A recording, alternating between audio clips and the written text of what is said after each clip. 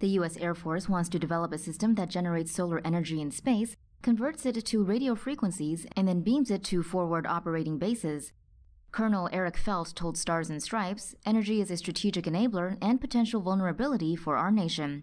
Remote outposts that rely on fuel or energy need to be supplied by convoys and protective escorts, which the enemy could target. The Air Force states that harnessing solar energy in space offers advantages, such as providing power around the clock in all weather conditions. According to Stars and Stripes, the system is envisioned as a constellation of satellites with 10,000 square meters of solar panels. The solar energy system would steer its beams at specific locations electrically rather than having to turn mechanical arrays.